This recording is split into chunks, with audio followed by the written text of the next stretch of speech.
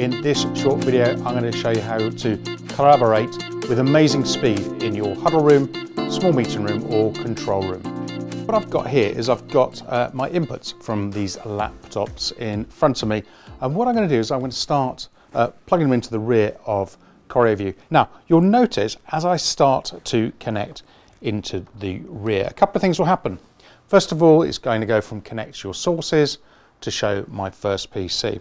Uh, below on the unit, you'll see it says we've got one source connected and it's connected in source C. What I'm going to do is I'm going to uh, input uh, another source now. This time I'm going to put it on uh, the last source I've got available. And you'll notice right away what happens behind me.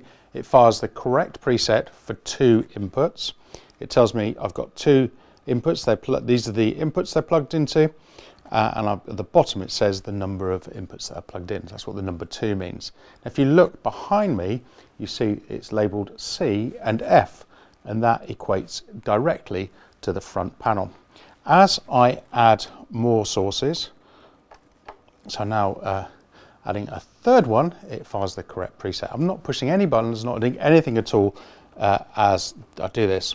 Now, I could have up to eight inputs into a unit uh, working this way.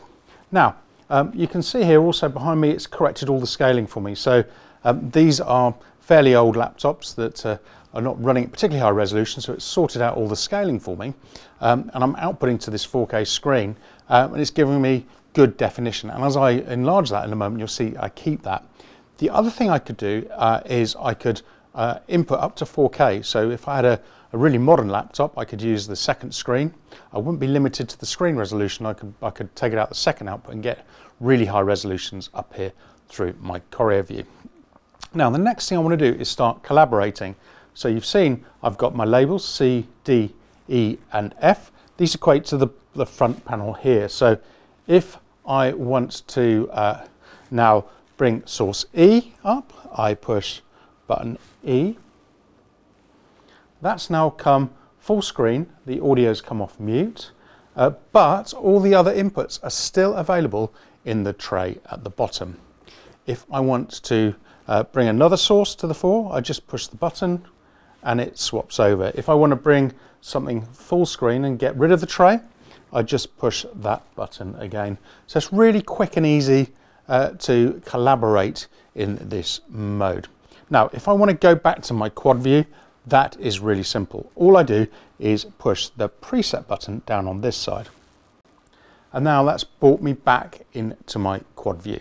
So that is the basis of CorioView in dynamic mode. It enables me to automatically file the correct preset for the number of sources and it enables me to bring an image full screen really quickly. Stick with the other videos uh, in this little series. Um, I'll be showing some more front panel control. So I'll be showing you how to uh, mute uh, your audio and cut your video to black if you need to really quickly. Maybe you've got confidential material you need to cut. I'll show you how to do that.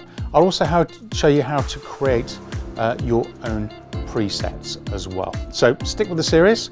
Uh, it's been great having you in the TV One Training Academy studio. See you in the next video. Bye-bye.